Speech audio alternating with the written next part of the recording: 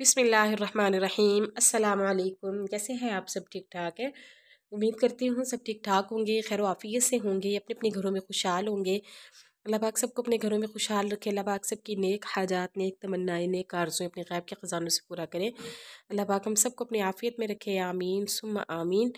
तो आज जो है वो मैं वीडियो यहाँ पे स्टार्ट कर रही थी और कहाँ जा रही थी मैं जी? तो मैं जा रही थी अपनी सिस्टर के घर। तो हम जो है वो अपनी अम्मी के साथ जो है वो मेरी तीन सिस्टर और मेरी अम्मी, हम मिल के जो है वो अपनी, मैं जो मेरी तीसरे नंबर वाली सिस्टर है, उसके घर हम जा रहे थे क्योंकि उसकी शादी को तकरीबन हो गया दो साल दो साल नहीं, अभी डेढ़ साल हुआ है तकरीबन। तो उसने माशाल्लाह जो है वो अब अपना घर बनाया है। तो वो अपने घर में शिफ्ट हुई है और वो कब से कह रही थी कि ना तुमने मेरे घर आना है, लाजमी आना है, ज़ाहिर उसने नया घर बनाया तो उसको मुबारकबाद तो देनी थी। तो कब से जो है वो हम ना मसन बस टाइम बना रहे थे कि जाएँगे जाएँगे, लेकिन ये था कि यानी कि स्कूल का जो है वो मैसा कि छुट्टी आपको पता है सिर्फ़ दो दिन होती है तो फिर जो है वो बस दो दिन आके मैं अम्मी के घर रहती हूँ तो बस ना टाइम ही नहीं लग रहा था, तकरीबन जो है ना वो डेढ़ दो महीने हो गए उसे शिफ्ट हुए।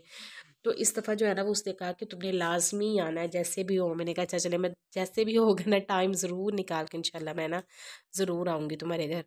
तो ज़ाहिर है बहन भाइयों की यही खुशियाँ होती है जिसमें जो है वो शरीक हुआ जाता है और वो, यानी कि जब हम कोई कोई भी खुशी सेलिब्रेट करते हैं, तब हमें जो है वो अपने बहन भाइयों की कमी महसूस होती है और जब उनके यहाँ कोई खुशी होती है तो फिर बहन भाइयों को भी इसी तरह से इंतज़ार होता है कि अपनों के साथ जो है वो खुशियाँ मनाई जाएँ।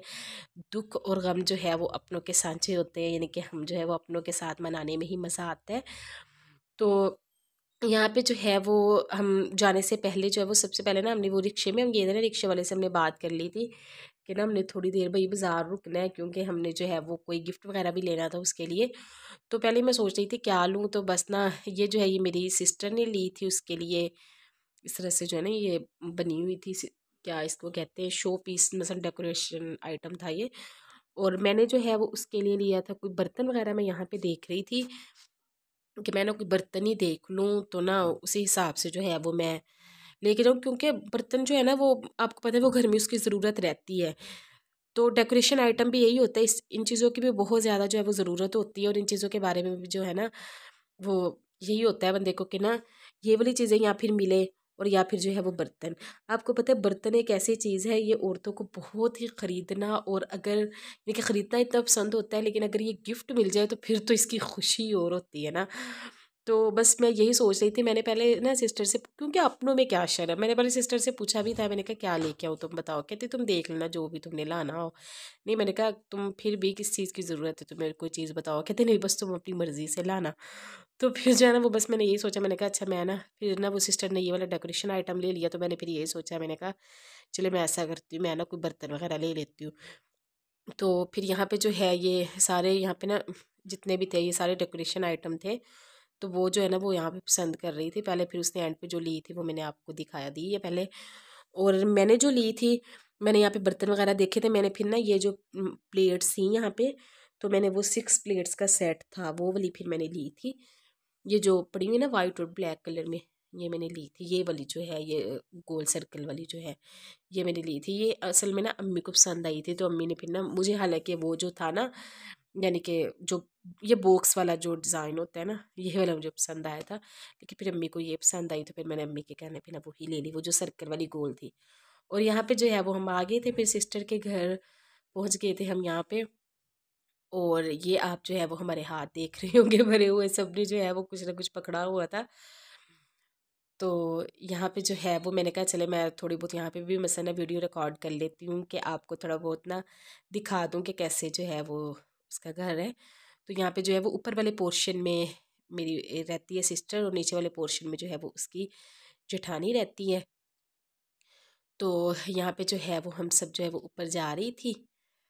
तो वही जो है वो थोड़ा सा ना मैं आपको दिखाने की कोशिश कर रही थी। तो पहले जो है ना, वो मैंने यही सोचा था, मैंने कहा मैं आपको ना फुल उनके घर का जो है ना, वो होम टूर दे दूँगी। लेकिन फिर जो है ना, बाद में जब मैंने मैंने अपनी सिस्टर से कहा ही नहीं, क्योंकि जब मैंने देखा ना कि उसकी जठानी जो है ना, वो नीचे थी, फिर मैंने कहा ऐसे ना अच्छा नहीं लगता। तो फिर इसी वजह से जो है ना, वो मैंने नहीं दिया था ना फिर होम टूर उसके घर का। मैंने कहा फिर कभी किसी दिन मैं आऊँगी तुम्हारे घर और जब जो है ना, वो कोई भी घर में ना आऊँगा ना तो फिर जो है वो तुम मेरा साथ देना और ना फिर हम जो है वो होम टूर मसला रिकॉर्ड कर लेंगे। और मैं ना अपनी बहनों के साथ भी जो है ना, वो होम टूर शेयर करूँगी। लेकिन आज जो है, वो मैंने कुछ भी मसन उसके ना, सिर्फ़ अपनी सिस्टर का पोर्शन जो है, वो मैंने थोड़ा सा रिकॉर्ड किया था। ये जो है, वो उसका बेडरूम था और ये जो है, ये उसका साथ वाला रूम था। तो उसको माशाल्लाह जो है ना, वो घर सजाने का बड़ा शौक़ है, बहुत ही शौक़ है उसको घर सजाने का। वैसे हर औरत को होता है, लेकिन उसे माशाल्लाह बहुत शौक़ है ना। तो उसने जो है ना वो हालाँकि छोटा सा मतलब उसका सेटअप है, लेकिन उससे बड़ा प्यारा सा जो है ना वो डेकोरेट किया हुआ है। किसी दिन जो है वो मैं आपको ना उसका डिटेल सारा टूर दूँगी। और यहाँ पे जो है जो उसने खाना बनाया था, वो मैं आपको दिखा रही थी, उस, वो बना रही थी मैक्रोनी। इसके अलावा जो है वो उसने बनाए थे, बिरयानी बनाई थी उसने, चिकन बिरयानी। और फिर इसके अलावा उसने क्या बनाया था? साथ में जो है वो मीठे में था हाँ क्रीम चाट थी मीठे में ना। क्रीम चाट नहीं थी, फ्रूट चाट थी, सॉरी। फ्रूट चाट थी और इसके अलावा जो है वो रायता वगैरह इस तरह की चीज़ें थी। तो बस यही तक की थी मेरी आज की वीडियो। उम्मीद करती हूँ आपको मेरी आज की वीडियो पसंद आई होगी। अगर वीडियो पसंद आई हो तो लाइक, शेयर, लाजमी